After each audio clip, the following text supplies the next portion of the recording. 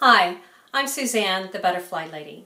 I'm going to show you how you can move first and second instar monarch caterpillars using a paintbrush. Before I work with uh, monarch caterpillars, I always wash my hands with hot soap and water and I start with a clean surface. I like to lay out white paper towel because if any of the caterpillars fall, it's easy to find them. I have some uh, second instar caterpillars that have pretty much eaten most of the milkweed cuttings I have in this cup. And I want to encourage them onto the new leaves. So what I'm going to do is I'm going to use a fine tip paintbrush. I'm going to encourage the caterpillar onto the new leaf. There he goes. Okay.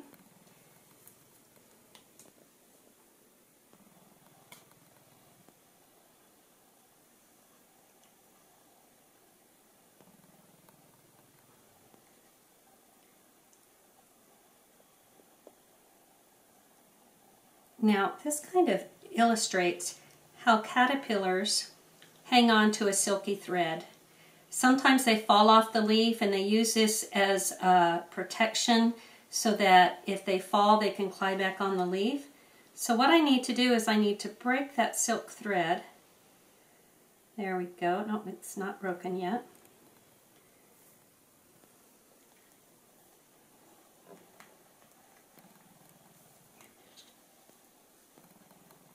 That guy fell. That's okay. It doesn't hurt them if they fall, especially such a short distance. I'm going to use my, the tip of my paintbrush and I'm going to roll under them to encourage him to get on top. And I roll the paintbrush. There we go. And I'm going to set him on the leaf. There. It's as easy as one, two, three. I'm not going to move this for a while. I'm going to let it set to make sure that they grab hold and have a good hold of the leaf before I move it into my pop-up.